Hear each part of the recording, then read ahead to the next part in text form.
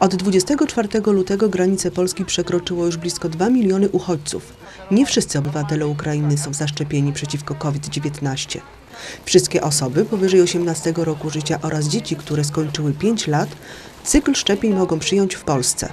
W punkcie szczepień mamy dostępne szczepionki Johnson, Johnson, Pfizer, Moderna i nowa szczepionka Novovax. Szpitalny punkt szczepień w Ostrowcu jest przygotowany do szczepienia obywateli Ukrainy.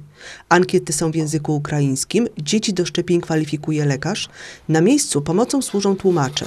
W systemie powinno być powie, gdzie, w jakim państwie został zaszczepiony i oczywiście zweryfikujemy i będziemy szczepić taką szczepionką, jaka jest w schemacie dla danego pacjenta.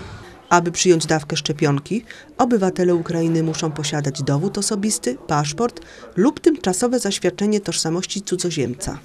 Polski kalendarz szczepień dzieci przeciwko chorobom zakaźnym różni się od tego obowiązującego w Ukrainie. Ministerstwo Zdrowia zaleca szczepienia według aktualnego programu szczepień ochronnych.